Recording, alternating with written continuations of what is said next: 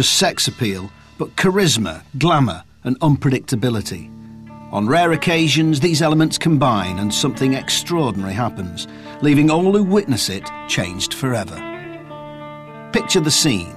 It's 1966, and LA's Whisky A Go Go is enthralled to psychedelic scenesters The Doors, whose singer Jim Morrison is just about to get in touch with his Oedipal side and take the job of frontman into new transgressive territory. You gotta turn those lights way down. We're playing the end at the Whisky A Go Go. He's on acid. Oh, what do we care? We're not, but we might as well have been. This is the end, beautiful friend.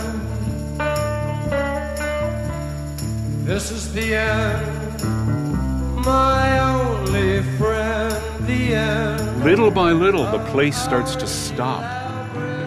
The dancers stop, the waitresses stop, and they're just transfixed on Morrison, who's become Dionysus, and he has everyone under control.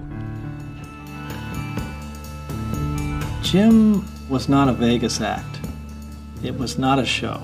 It was like live theater or something. What the hell is he going to do next, kind of thing, you know? This comes out of the blue, just came out of his head. Whether he had worked on it, I have no idea. And did it work? Father?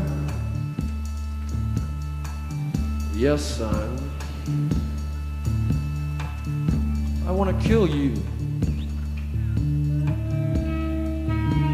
There's only one place you can go with it after that. Mother? And we're playing as loud as we possibly can.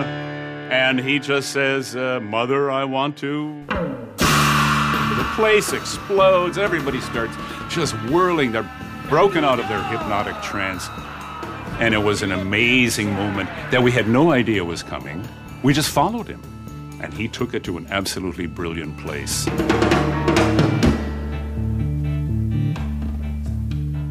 Saying the unsayable and voicing our darkest urges to transgress, Jim Morrison was like some kind of Oedipal stormtrooper. He made explicit what up to then had only ever been implied. But he wasn't the first to mine raw sex appeal. That had been part of the frontman's job from the earliest days of rock and roll. Back in the 1950s, a whirlwind of swagger attitude and ambiguous sexual energy was unleashed in the flamboyant form of Little Richard.